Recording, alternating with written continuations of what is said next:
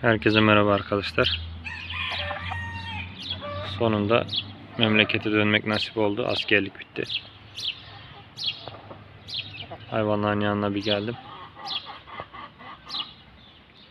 Fakat bir sürü şey değişmiş. Pek özenli bakılmamış birçok şeye.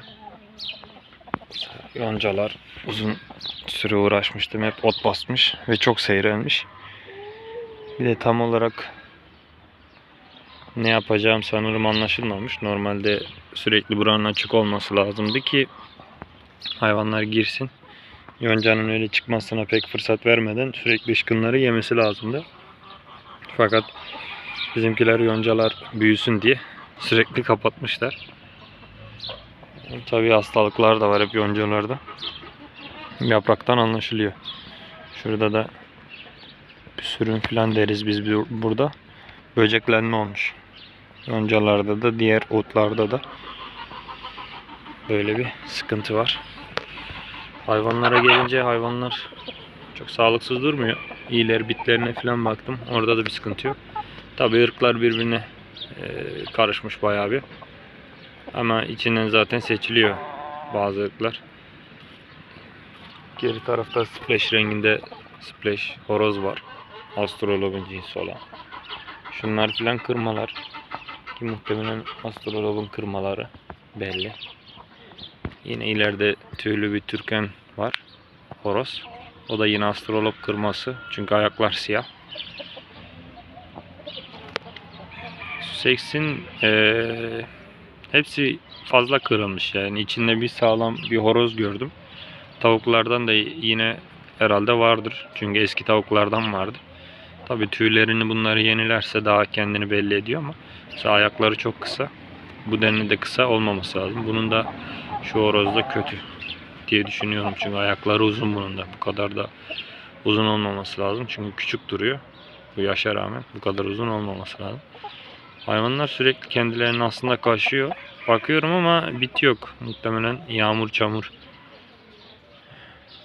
Hani artık ıslanıyorlar, çamur oluyorlar. O yüzden kaşıyorlar diye düşünüyorum. Açıkçası. Yonca'nın durumu bu şekle gelmiş. Normalde başarısız bir şey değildi. Zaten şu direk falan da kırılmış. Dün kırıldı diyorlar. Onu da dikeceğim şimdi. Hayvanları da salacağım içine.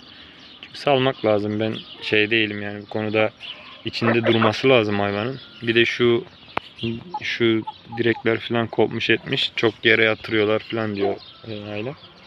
Ama yatırsın. Kökünü sökmediği sürece sıkıntı yok. Soranlar oluyor da hani başarılı mı başarılı oluyor mu bu sistem falan diye. Başarılı yani onda bir problem olduğunu düşünmüyorum. Sıkıntı olacak bir durum da yok yani bu açıkçası yonca şeyinde. Başarılı da olur. Özellikle daha büyük yapılırsa. Sadece bizim en büyük sorunumuz yazın bu yoncayı şey yapmış olmaktı.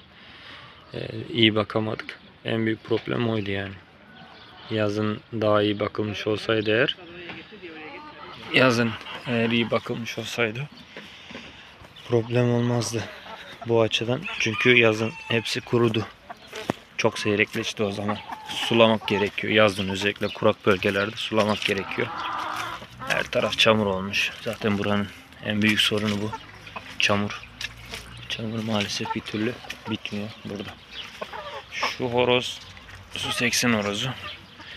Zaten büyük heybetli en büyük bu kalmış. Yeni yetişme bu da. Öyle çok açıkçası yaşını vesairesini hep bunların kayb yani hatırlamıyorum bilmiyorum da.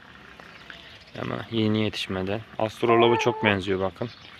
Ee, çünkü Plymouth tarzı şu görmüş olduğunuz e, Plymouth tarzı hayvanın eşleşmesidir. Ee, Astroloporozla Plymouth tarzı şu gördüğünüz çilli hayvan eşleşirse Atak tarzı bir hayvan türü ortaya çıkıyor açıkçası.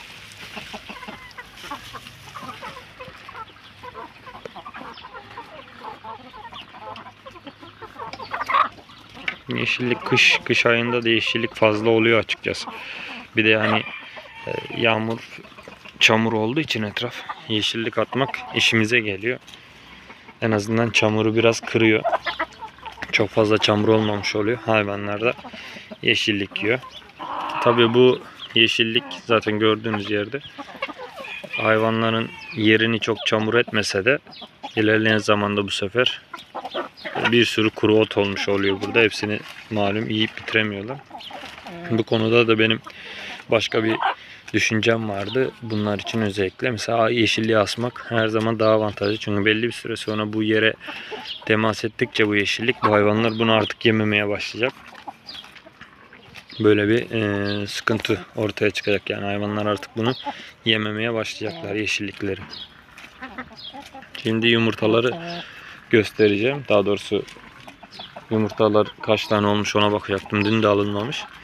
Fakat gurk olmuş olabilir. İçeride bir hayvan yatıyor. iki tane yatıyor daha doğrusu. Öyle olunca onlar da rahatsız etmedi.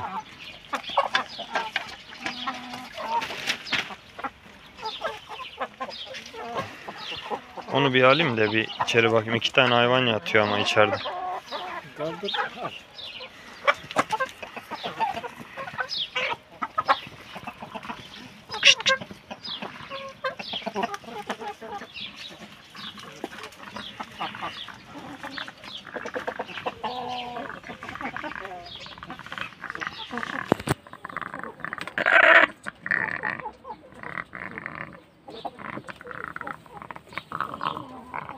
Al. Gurk yatıyorsa da eğer yatmamasını da lazım açıkçası. O yüzden buradan bir alacağım. Doğrusu almadan aslında yumurtasını alsam daha iyi olur ama.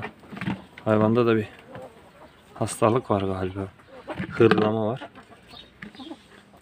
Şöyle bir yumurta dışarıda. Burada da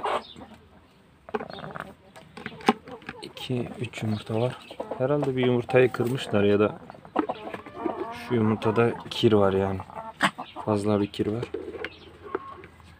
Bir de aşağısına yatmış.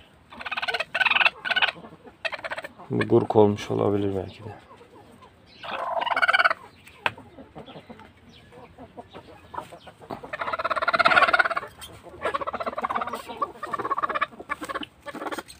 Hmm, sanırım bu hayvan gurk olmuş.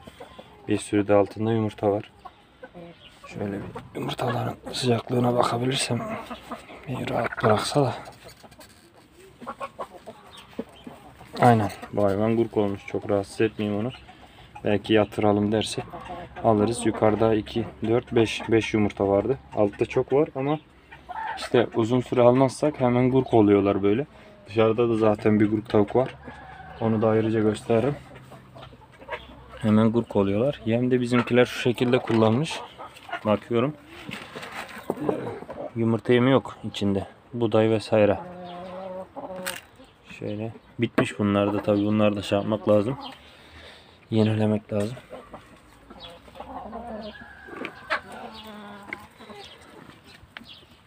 Şu Splash Astroloporos.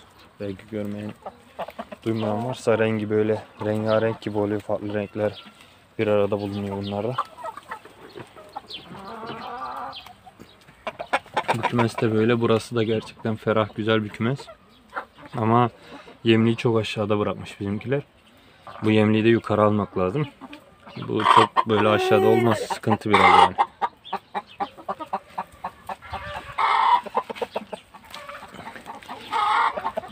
Kümeste durum vaziyet bu şekilde. Çok da sıkıntı yok. Fena değil sayı filan kaç ne var ne yok bilmiyorum ama sanırım 5 ya da maksimum 6 tane horoz var. Bunların içinde etkin olarak şey olan yani baskın olan zaten şu bir şu büyük horoz bir de eee, şu kel horoz. Diğerleri splash olan filan eşleşiyor mu onu bile bilmiyorum. Belki eşleşmiyordur bile.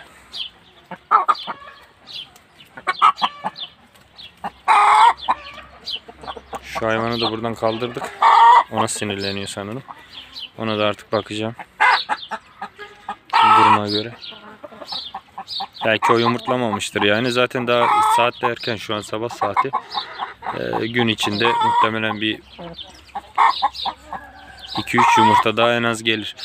Fakat işte şey bilmiyorum. Sayı olarak kaç tavuk var bilmiyorum. Mesela şu da horoz. Bu da Sussex'in normal bir horozda kırması besbelli. Çünkü bacakları çok uzun.